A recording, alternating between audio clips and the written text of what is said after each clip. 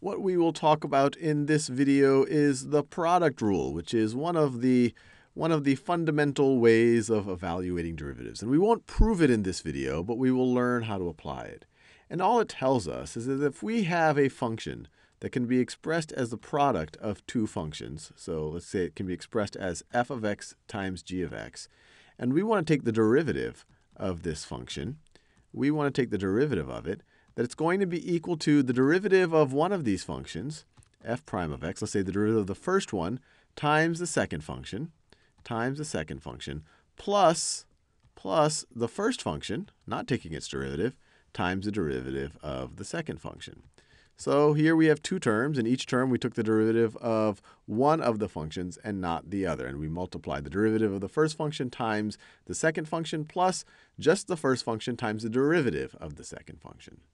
Now let's see if we can actually apply this to actually find the derivative of something.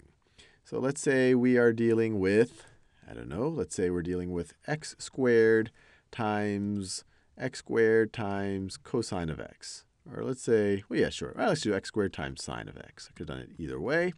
And we are curious about taking the derivative of this. We are curious about what its derivative is.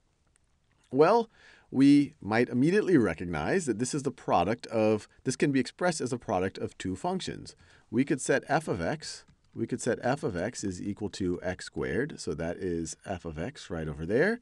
And we could set g of x we could set g of x to be equal to sine of x. And there we have it. We have our f of x times g of x. And we could think about what these individual derivatives are. The derivative of f of x is just going to be equal to 2x by the power rule.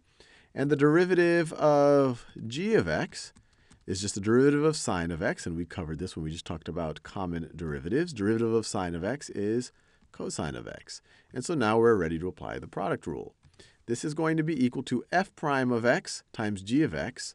So f prime of x, the derivative of f is 2x times g of x, which is sine of x, sine of x, plus just our function f, which is x squared, x squared, times the derivative of g, times cosine of x, times cosine of x. And we're done. We just applied the product rule.